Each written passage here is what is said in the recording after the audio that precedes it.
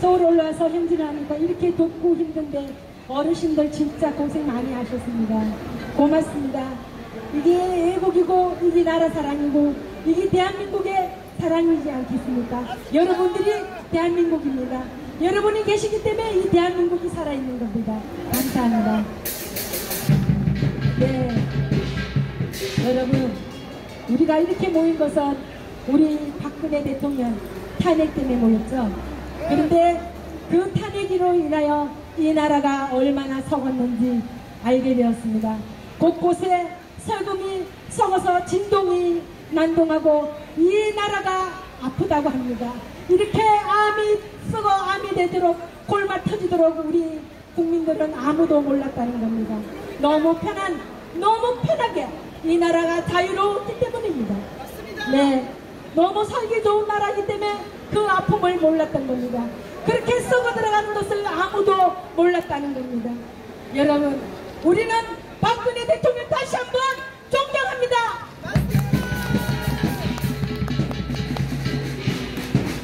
세계에서 그 어느 나라 대통령보다 우리 박근혜 대통령은 존경받고 또 사랑받았습니다. 우리 대한민국 젊은이들만 몇 분, 네, 저 더민주, 더 노총들, 네, 썩었는 이 나라의 안족들은 박근혜 대통령을 욕하고 헐뜯었지만 전 세계에서는 우리 박근혜 대통령을 존경하였습니다. 얼마나 존경했는지 여러분 모를 겁니다.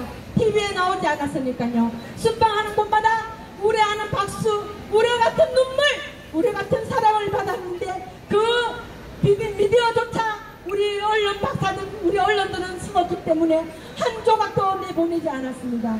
여러분, 이것이 비극의 시작이었습니다. 우리나라가 언론에 이렇게 썩었는지 누가 알았겠습니까? 우리나라 법치가 이렇게 썩었는지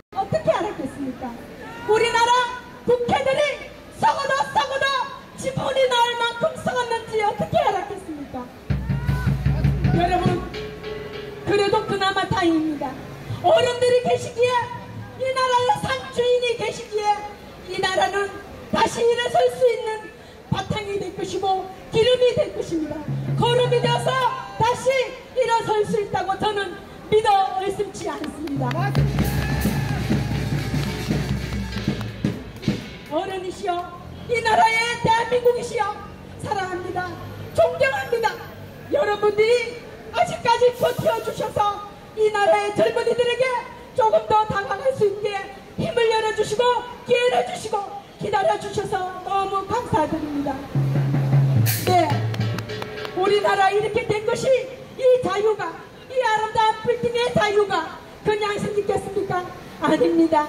우리 선조들이 노력하여서 이 나라 이 바닥에 바탕을 밀어줬기 때문에 그 위에 우리들은 우뚝 서서 자유를 만끽하고 살아갈 수 있었던 것입니다. 여러분 30년 세월 그 30년이라는 세월 그 짧은 세월에 세계에서 가장 가난한 대한민국이 세계에서 10위 안에 들었답니다. 그건 기적과 같은 것입니다. 기름 한 방울 나지 않는 아무것도 나지 않는 그저 가난의 배고픔에 살던 이 대한민국이 이렇게 일어설 수 있는 것은 바로 박정희 대통령 때문입니다. 왜 박정희 대통령 때문이냐고요? 젊은이들요. 왜 박정희 대통령 때문이냐고요? 이 나라 기반이 어떻게 해서 박정희 대통령 때문에 일어설 수 있냐고요? 네, 지금부터 이야기하겠습니다. 박정희 대통령 보고 일본 일제치하에 장교질했다고 일본 아짭이라고 하는 젊은이들요. 눈을 뜨십시오. 그 당시 박정희 대통령은 젊은 청중 청년이었습니다. 우리나라가 일제시대 30년 동안 말과 이름과 족보가 모든 것이 일본 것으로 바뀌었답니다. 젊은이들요. 그 일제시대 때 우리 박정희 대통령은 장교로 근무할 수밖에 없었습니다. 아니면 진영으로 끌려가 아오지 그 탄강촌에 일제 일본의 그 탄강촌 유명한 거 아시죠? 거기 끌려갔던가 안 그러면 정쟁의 이름 모를 이름으로 죽어 갔겠죠. 그리고 우리 부모들은 어떻게 했냐요? 우리 조상의 여자분들은 성노예로 끌려가 그 고통을 당하면서 대한민국을 가라데 힘이 없는 대한민국을 그리워하면서 눈, 눈, 목숨을 잃어갔습니다. 눈을 감은 그 조상의 덕을 우리는 알고 있어야 합니다. 그분들이 조상을 지키지 못했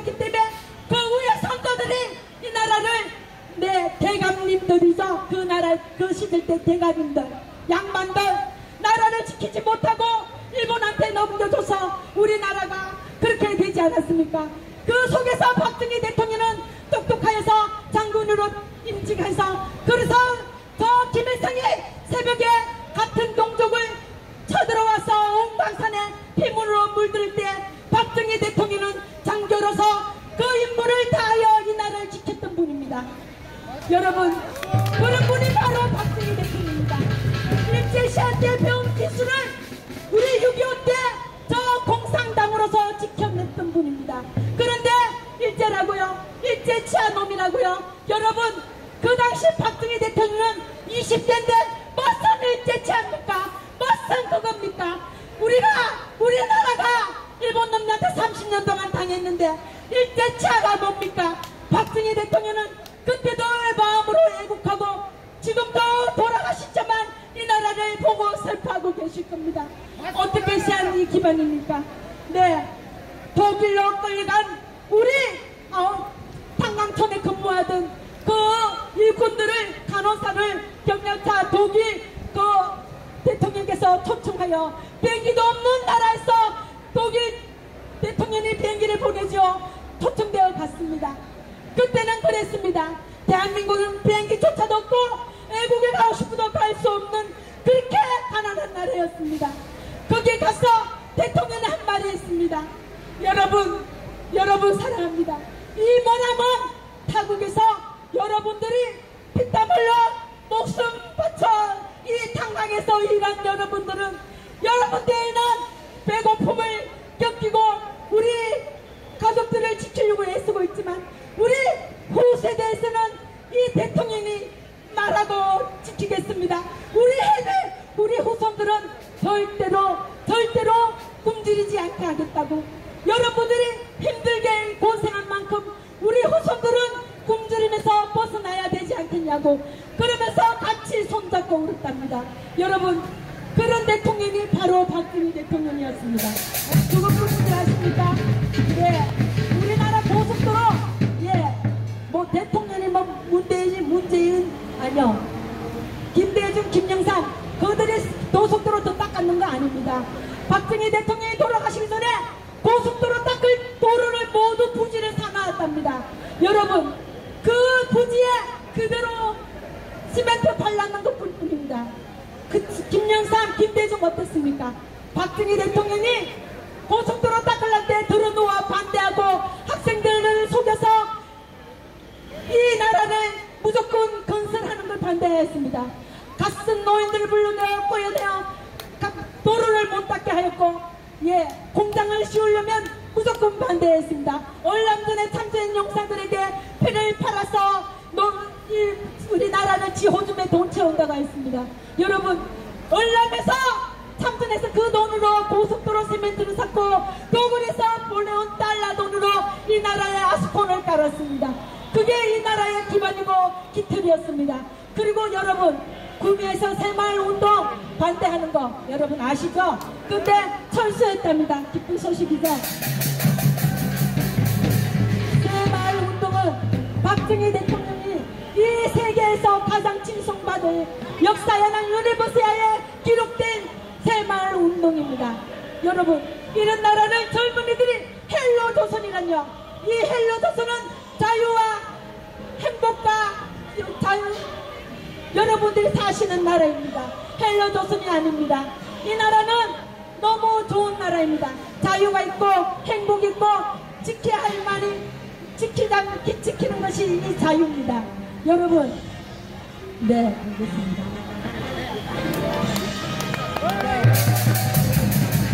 빨리 끝내라고 해요. 한 가지만 할게요.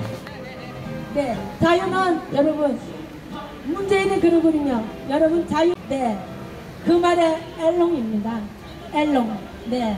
누가 속됐습니까? 자유는 악수하면서 자유를 하는 게 아닙니다. 저 김일성이가 오밤중에 새벽에 우리 남한에 무기 하나 없는 이 나라에 탱크 하나 없는 이 나라에 새벽에 탱크 500대를 가지고 무조건 소화돼서 온 강산의 피부를 만드는 저 김일성 예 같은 동정한테 총질 뿌린 저 김일성을 그 손자 김정은한테 머리 쪼가리고 고개 숙여 화해하자는 저 문재인 우리 돌아가신 손주들이 울고 있겠습니다 여러분 여러분 그래서 되겠습니까? 자유는 악수하고 하자고 해서 되는 게 아닙니다.